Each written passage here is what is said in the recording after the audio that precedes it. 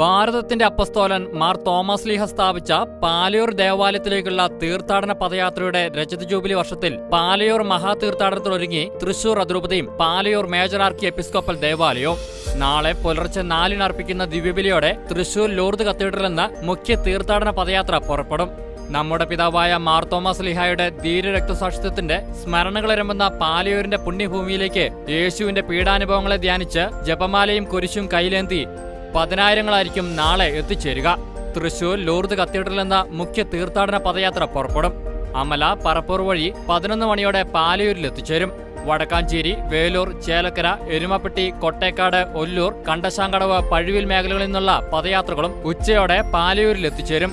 മുഴുവൻ തീർത്ഥാടകർക്കുമായി രാവിലെ പതിനൊന്ന് മുതൽ നേർച്ച വിതരണം ആരംഭിക്കും. വിവിധ സ്ഥലങ്ങളിൽ നിന്നുള്ള മറ്റു തീർത്ഥാടകർ പാവരട്ടി സെന്റ് ജോസഫ് തീർത്ഥകേന്ദ്രത്തിൽ എത്തിച്ചേർന്ന് ഉച്ചയ്ക്ക് രണ്ടിന് അർപ്പിക്കുന്ന ദിവ്യബലിക്ക് ശേഷം പാലയൂരിലേക്ക് പുറപ്പെടും.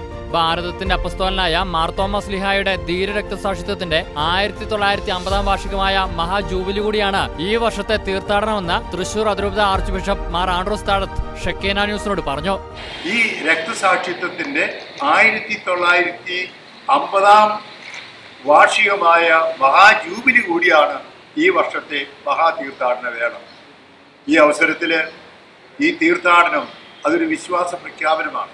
എന്റെ കർത്താവേ എന്റെ ദൈവമേ എന്ന് പറഞ്ഞ് വിശ്വാസം ഏറ്റു പറഞ്ഞ തോമസ് ലീഹ നമുക്കും അവരോട് കൂടി പോയി മരിക്കാമെന്ന് പറഞ്ഞ തോമസ് ലീഹ ഈ ധീരതയോടെ ഏറ്റവും അന്നത്തെ അകലെയുള്ള പ്രദേശമായ ഇന്ത്യയിലേക്ക് കേരളത്തിലേക്ക് എ ഡി അമ്പത്തിരണ്ടിൽ വന്ന് സുവിശേഷം പ്രസംഗിക്കുകയും രക്തസാക്ഷിത്വം വരിക്കുകയും ചെയ്ത ഈ കാല ഈ ഓർമ്മയിൽ ആരംഭം കുറിച്ച പാലിയൂരിലേക്ക് വിശ്വാസ തീർത്ഥാടനമായി നോമ്പുകാല ചൈതന്യത്തിൽ പ്രാർത്ഥനയുടെ പരിഹാരത്തിന്റെ പ്രാശ്ചിത്വത്തിന്റെ ജീവിത നവീകരണത്തിന്റെ മനോഭാവമായി നടക്കുന്നത്.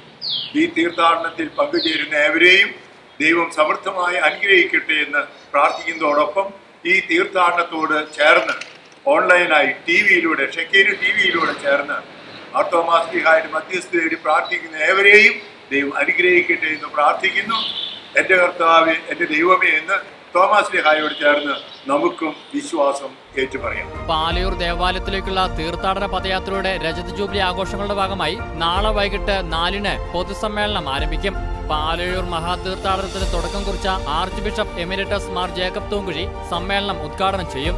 പാലക്കാട് രൂപത ബിഷപ്പ് മാർ ജേക്കബ് മനത്തോടത്ത് മുഖ്യ അതിഥിയാകും archbishop Mar Andrew Thazhath അധ്യക്ഷത വഹിക്കും മാർ ടോണി നിലങ്കാവിൽ പ്രസംഗിക്കും. ഗേറ്റിൽ വെച്ച് പേപ്പൽ പതാക സ്വീകരിച്ച ശേഷം ബിഷപ്പുമാർ ചേർന്ന മഹാതീർത്ഥാടനത്തിന്റെ രജത ജൂബിലിയുടെ ഓർമ്മയിൽ ഇരുപത്തിയഞ്ച് ബലൂണുകൾ പറത്തും. തുടർന്ന് സമൂഹ ദിവ്യബലി ആരംഭിക്കും. പതിനായിരക്കണക്കിന് ഭക്തജനങ്ങളുടെ സാന്നിധ്യം കൊണ്ട് ശ്രദ്ധേയമായ പാലയൂർ മഹാതീർത്ഥാടനത്തിന്റെ തത്സമയ സംപ്രേഷണം ഷെക്കേന ന്യൂസിൽ നാളെ മൂന്ന് പതിനഞ്ച് മുതൽ ഉണ്ടായിരിക്കും.